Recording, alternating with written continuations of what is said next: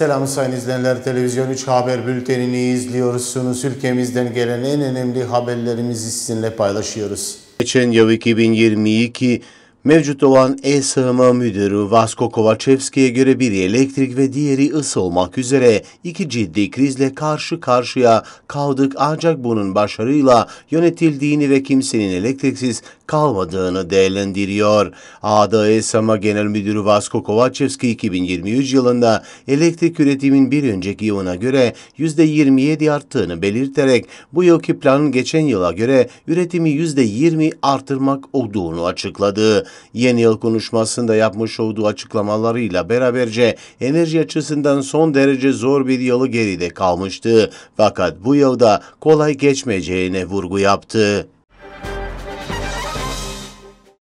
Hükümetten yapılan açıklamasına göre son 24 saat 18.026 megawatt saat üretilmiş elektrikten bahsedilirken yurt dışından elektrik ithalatı yapılmadığı da bildirilmektedir. Hükümet ADE SAM'ının dün 18.026 megawatt saat elektrik üreterek evlerin ve küçük tüketicilerin ihtiyaçlarını tamamen karşıladığını bildirmektedir.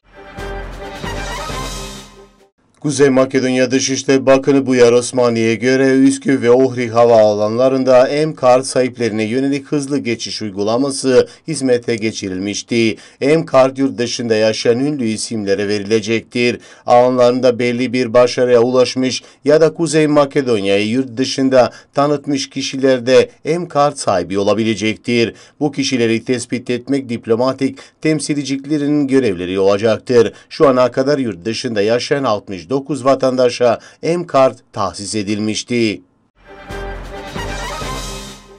Sosyal Demokratik Birliğin önderliğindeki hükümet tarafından zamanında ve etkin alınan önlemler sayesinde vatandaşların yaşam standartlarını korumayı ve şirketlere yardımcı olmayı başardık. Bu şekilde Kuzeska tarafından yapılan açıklamasıyla beraberce şunları da dile getirildi. Bu yıl 2023 başarılı ekonomik önlem ve politikaların devam edeceği bir yıl.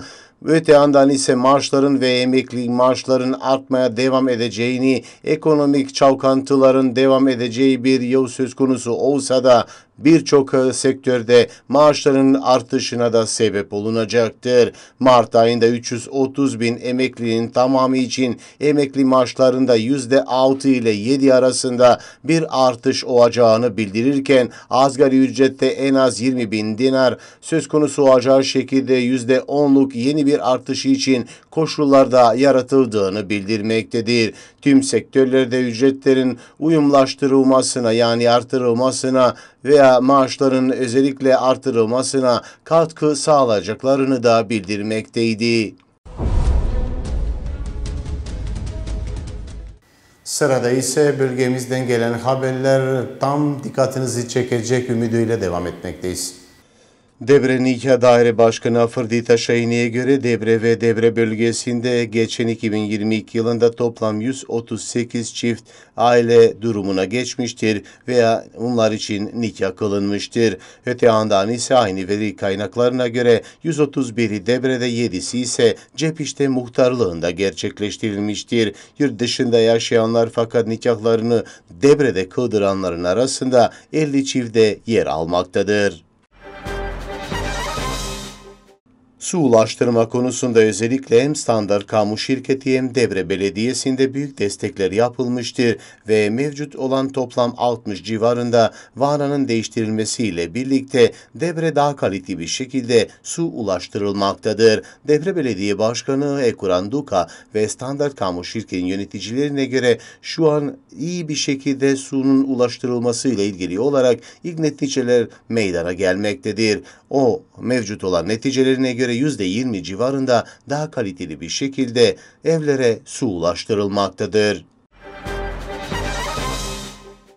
Standart Kamu şirketi yönetimine göre vatandaşların faturaları ve borçları elektronik kartıyla ödenebilecektir. Standart Kamu şirketi müdürü Burim Kaba'ya göre yapılmış olan hazırlıklar neticesinde yeni yazılım ve bununla ilgili olarak dijitalleşme platformu kapsamında bu tip hizmetleri de yer almaktadır.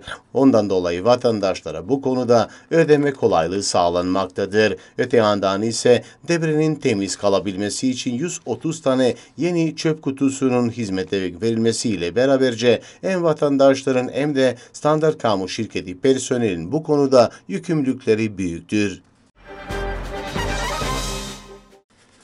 Dibra Karate Kulübü 2022 yılında kurulmasına rağmen birçok büyük başarıya imza atmış olduğu antrenörü Durin Paçuku'ya göre özellikle Sara Duka en iyi bir şekilde hem takımı hem şehrimizi hem de ülkemizi yurt dışında temsil etmiştir. Öte yandan ise aynı başarıya Era Koca da imza atarken birçok karate kulübünün üyeleri bu konuda kendi başarılarıyla en iyi bir şekilde bölgemizi ve ülkemizi temsil etmeye çalışmıştı. Öte yandan ise antrenörü Durin Paçuku'ya göre özellikle Şubat ayında yapılacak olan çalışmaları ve hazırlıkları neticesinde Kıbrıs'ta düzenlenecek olan Avrupa yarışmalarına katılmak için de bütün çalışmaları ve çabalarını göstereceklerini bildirmektedir. Öte yandan ise mevcut olan 4 kişi Debre Dibra Karateciler Kulübü'nden milli karatecileri olmuştu. Ondan dolayı bunların da başarıların devam edilmesi için tüm taraftan da destek gelmeleri gerekir.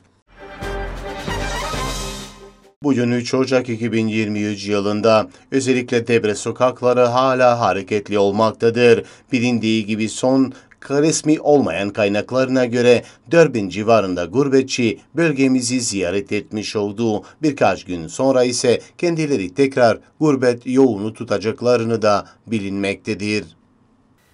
Haber bültenimiz sona erdi. Görüşmek üzere efendim.